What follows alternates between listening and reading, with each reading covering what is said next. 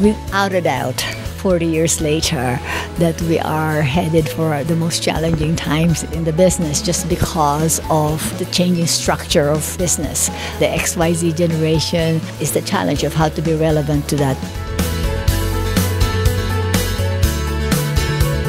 This is very much inspired from the Philippines. That's how Natori started 40 years ago, based on the craftsmanship here. So the embroideries abound. The patterns are very much based on the tropics, the flowers, the jeepney, the map of the Philippines, the colors, and just more easy breezy kind of Manila wear type of resort wear to me, lingerie is really a way of dressing. There just happen to be some people sleep in it, but you know, with Natori, you, you can sleep in it, you go out in it, you dance in it, you do whatever you want with it. And but of course, the collection is expanded to there's the lingerie, there's loungewear, there's ready to wear, there's evening wear, there's accessories. So it's just a celebration really of four years starting in the Philippines. So I think this collection is so much rooted in my heritage.